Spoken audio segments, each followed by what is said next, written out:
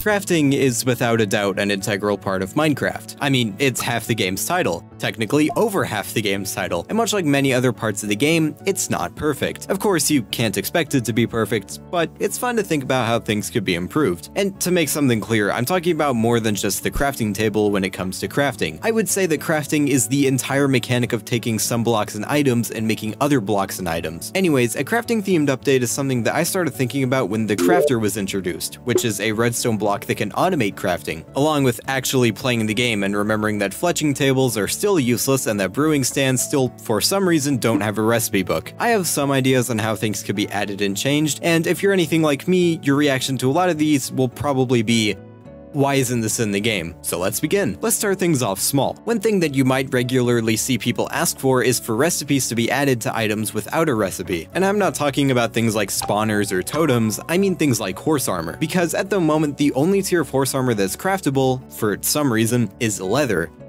Yeah, the, uh, one tier of the horse armor made out of the same thing that horses drop.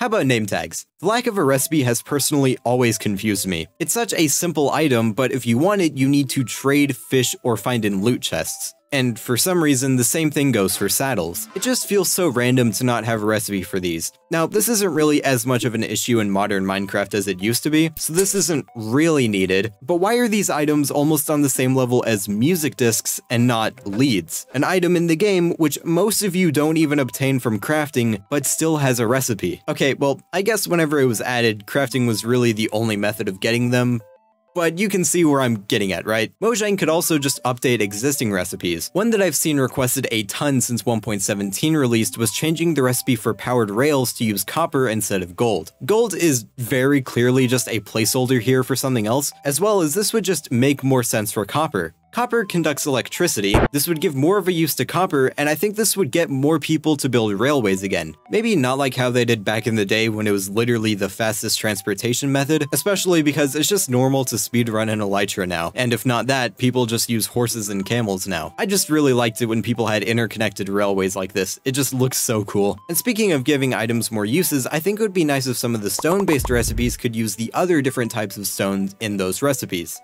Of course, this wouldn't be for every stone-based block, but if deepslate can be used to craft a furnace and the furnace still looks like this, I don't see why this couldn't apply to more blocks and items. Admittedly, this is mostly just because I want to use diorite, andesite, and granite in making stone tools, but at least these items would actually get a use. Granite is, like, used with bricks, and that's kind of it. While I did mention some that it doesn't have, the Vanilla Tweaks website actually has some pretty nice data packs with crafting changes that I would love to see in the game. Things like Straight to Shapeless, which turns a crafting recipe for bread, paper, and shulker boxes into being shapeless. This is mostly just so that you can make them in your inventory and not need to use a crafting table, but whatever. Enough about minor changes, let's talk about the bigger changes that Mojang could make. Of course, with how important crafting is, this wouldn't be the first time that it would see a significant update. 1.14, the Village and Pillage update, could also be considered in some ways a crafting update as it actually overhauled some crafting systems. The most notable examples were the loom and cartography table, which both completely revamped the systems for decorating banners and working with maps, which was a major improvement compared to how they worked before. The grindstone was technically a revamp of the old disenchanting and repairing system, while everything else was just a new way of making certain items. However, there were two new blocks introduced in this update that didn't actually have any functionality outside of villagers at the time of the release, but they were promised to get functionality in the future. The first is the smithing table, which didn't see use until 1.16 with the introduction of netherite and then a revamp in 1.20 with smithing templates. The second block in, yeah, you already know what it is, the fletching table, a block that still hasn't received any functionality in the four years it's been in the game, except for an odd feature where right-clicking it in spectator mode has the crafting table UI appear for a split second. It's pretty clear that this should be some sort of arrow crafting block, like this being the new place for making tipped arrows and spectral arrows, which would mean that spectral arrows would finally be added to Bedrock Edition, but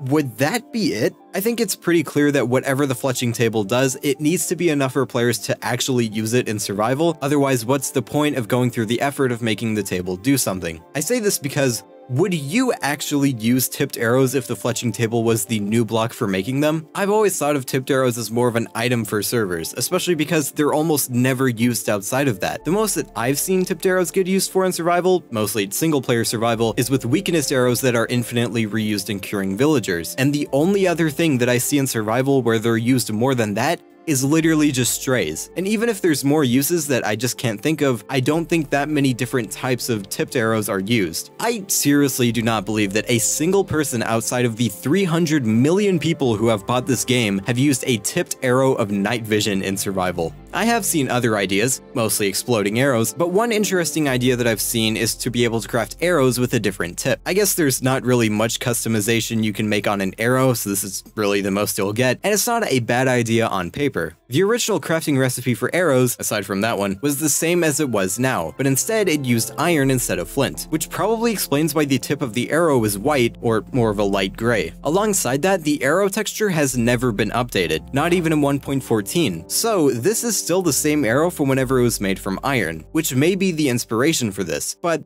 Arrows are already pretty powerful, especially with a maxed out bow, so unless the regular arrow is nerfed, I can't see why many people would make a more expensive one. I guess the fletching table could customize bows as well, like customizing the look, or adding a scope. Look, I'm really trying. Whatever it is you have planned, Adrian, I really hope it's a great idea like you said, because it's been at least six major updates. Enough about the blocks, let's talk about the thing inside those blocks. The recipe book. Gone are the days of looking up a recipe on the Minecraft wiki, unless you haven't unlocked the recipe. The recipe book is here to make crafting more easier to understand, and also turn crafting for most people from this into this. And it's not just here for the crafting table, it also appears in the furnaces. I think that it's great that players don't need to leave the game and then go to a website to learn how to make something in the game anymore, so anyways, why isn't it there for brewing stands? It is incredibly ironic that the system that would probably make the most sense having a recipe book is the one without it, and I'm starting to think they just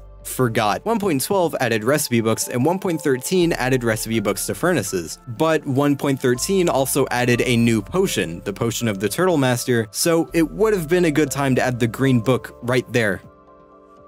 it's also been 6 years. A good idea of what this could look like can be found in the Better Recipe Book mod, which does add a functional recipe book for brewing stands. Great job to the people who made this, but I think there are some ways that this could be improved. Okay, so the goal with recipe books is to make sure that the player 1 isn't confused, and 2 doesn't need to look up how to make an item, so assume that they know nothing. To better achieve this and to communicate as much to the player as possible, I think the recipe book should look more like an actual recipe book instead of just clicking on each step of making the potion one by one. So I think the only thing that should be listed here should be the different effects, and whenever you click on it, a graphic appears showing the ingredients needed in the order that they need to be added. Below are buttons to modify the potion, like increasing the time, increasing the strength of the potion, making it a splash potion, or making it a lingering potion. This is for two reasons. The first is to remove essentially the same potion from appearing multiple times in the tab for finding a recipe. This simplifies it to be easier to understand and get straight to the point, since when you're making a potion, the main thing that you're probably thinking about is the effect. The second is to make the player feel like they're really making something. You clicked on the effect, now how do you want it? Also, this would remove the recipe buttons for making thick, mundane, or awkward potions since, once again, you're probably wanting one of these potions to be the potion you make, not just a step in the process that doesn't have an effect. Once again, this would lead to less confusion and people new to brewing wanting to know why these are listed if they don't do anything, and you already have to make them if you want to make the other potions. If someone really wanted to make one of these potions, then that means they already know what that is, and so the recipe book wouldn't really help them. I think this system works better because, like I mentioned before, the player feels like they're really making something. When you manually put in each ingredient one by one, and even make your own changes to the recipe, you get to see how it comes together over time and what role each ingredient plays in making the potion, which you wouldn't really get from just clicking on potion icons and things being moved for you. I'm sure that this system isn't perfect and that there are some changes that could be made, but I feel like this is at least on the right track for getting a recipe book for brewing stands that would actually work. By the way, the Better Recipe Book mod has some other nice changes, like pinning recipes, instant crafting, the ability to disable the recipe book, and the option to instantly have every recipe in the game. And I am shocked that a button for this in the settings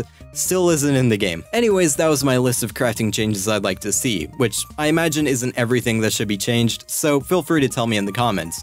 And while you do that, I'm going to play with this data pack that makes crafting something super OP and that I'll get bored of in five minutes. Uh, bye!